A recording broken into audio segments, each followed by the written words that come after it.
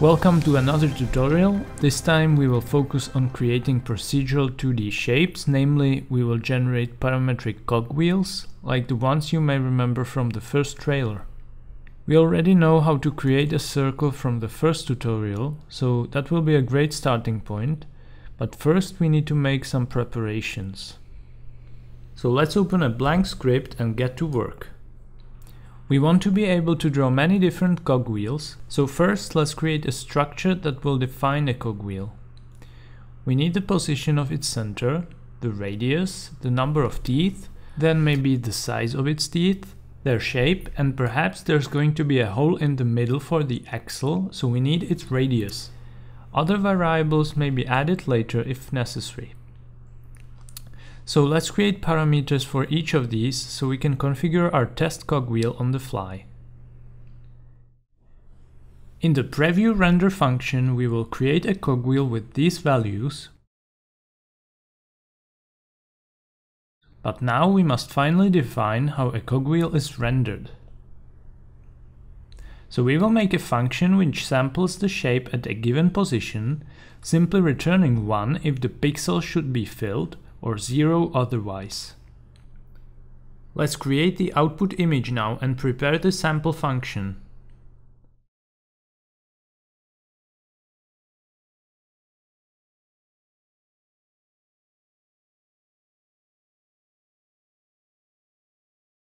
In this function we are interested in the position relative to the cogwheel center, so let's just subtract that and now we will convert the position to the polar coordinate system.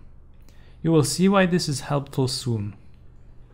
Currently for each point P we are rendering, we have its relative position from the cogwheel center expressed as the x and y coordinates.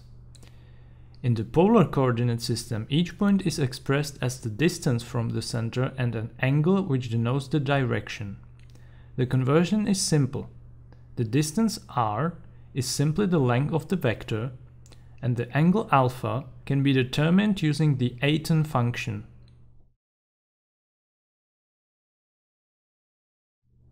So let's start with a plain circle as I suggested in the beginning.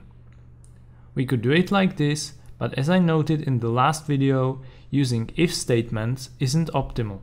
So let's instead utilize the step function I also mentioned, which was made exactly for situations like these. To recapitulate, the step function's first argument is a threshold, and it returns 1 if the second argument is past this threshold, and 0 if not.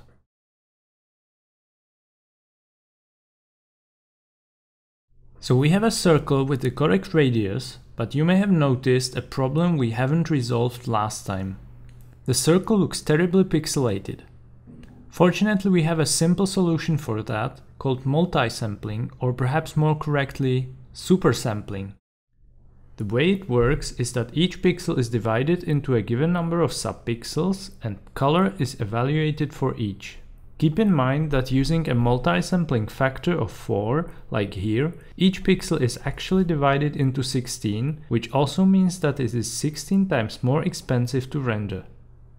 Finally, the color of each pixel is determined as the average of the subpixels. The process is equivalent to rendering in a much higher resolution and shrinking the image down. In Shadron we have a function template that does all of this automatically called multisample. Just include it and use it in the image declaration. The first template argument is the function name to generate the subpixels and the second one is the multisampling factor. 3 or 4 should be enough unless you're doing a production quality render. Let's finally add the teeth now. The way we do it is imagine the circle's radius varied in different parts and basically the parts with the greater radius were the teeth. So we just need to convert the angle alpha or A to the correct radius. We will also need pi so let's include the math constants. The angle alpha is currently between minus 180 and 180 degrees or minus pi to pi, so let's first convert it to the range 0 to 1 like this. Let's also visualize the result, so right now white is 0 and black is 1. And if we multiply by the number of teeth, so we have the range 0 to 12 for example, and then just take the fractional part, we get the range 0 to 1 for each tooth. So this is our phase variable. We can also plot it as a function of alpha, and here is the result if it's used to modulate radius.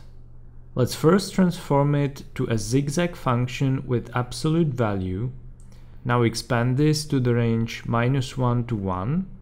And now if we scale the value by another parameter and clamp this result, we get the nice cogwheel shape. So let's just quickly put that into code using the tooth shape parameter.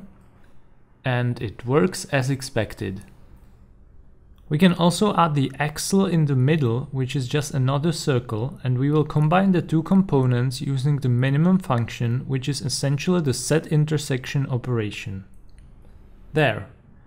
We have the basic shape of the cogwheel now, and as you can see, it is fully customizable.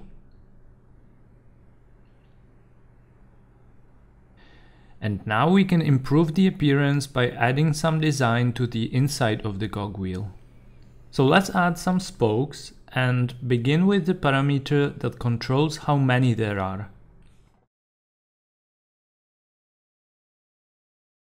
I have prepared this slightly complicated function to form the shape of the spokes, but the idea is still the same.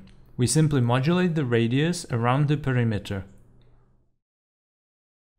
We want the cogwheel filled normally at the outer rim, so let's do a union operation with the outer part. And now we can combine the inner design with the main body, and here's the finished product.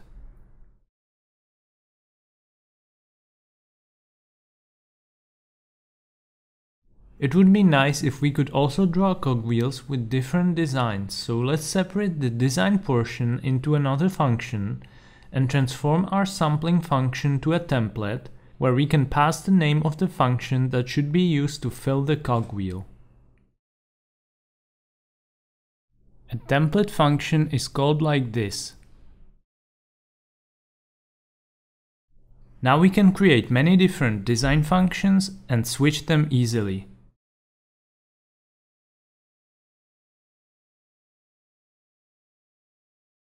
So once we are satisfied with the cogwheel's appearance, we want to make them spin. So let's switch to animation and add two more values to our cogwheel structure, the initial rotation and the angular velocity.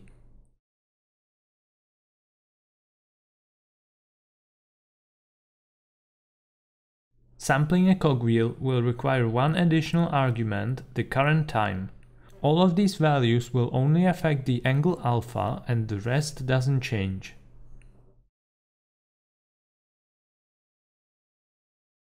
Cogwheels spinning by themselves still isn't too interesting, so we also want to be able to have gear systems where the spinning wheels correctly mesh together. For that, we will create a function that takes a cogwheel and returns another cogwheel structure that connects to the first one in a given direction and has a given number of teeth. Most of the properties of the new cogwheel will be the same, so let's first copy the original and then change some of its values. We need to establish the gear ratio based on the old and new number of teeth. The new wheel's radius will be proportional to this gear ratio and so will its angular velocity, which will be of course in the opposite direction. We also need to move the new wheel's center by the sum of their radii in the desired direction. The only item that remains is the initial rotation, which is a bit more complicated, so let's take a closer look. So here are the two cogwheels, A and B, in their default rotation. This seems fine as long as B has an odd number of teeth, otherwise there is a problem. So in reality, B needs to be rotated 180 degrees and then half a tooth. What if A is rotated though? Then, of course, we need to rotate B proportionally to the gear ratio in the opposite direction. And finally, what if B is connected at a different position? Then the angle of this direction has to be computed and added to the B's rotation to preserve the point where the two cogwheels touch. And as B is rolling around A, the angle has to be added again, this time proportional to the gear ratio. So let's quickly copy that over and use this function to create a second interlocked cogwheel. We just need a couple more parameters.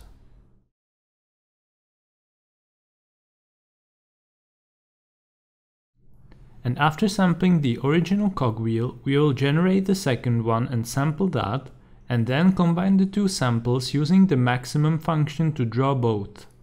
So that's it. Now it's up to you to utilize these structures and functions to create smooth animations or construct elaborate clockworks. I hope you liked this tutorial, you can download the script in the video description and see you next time.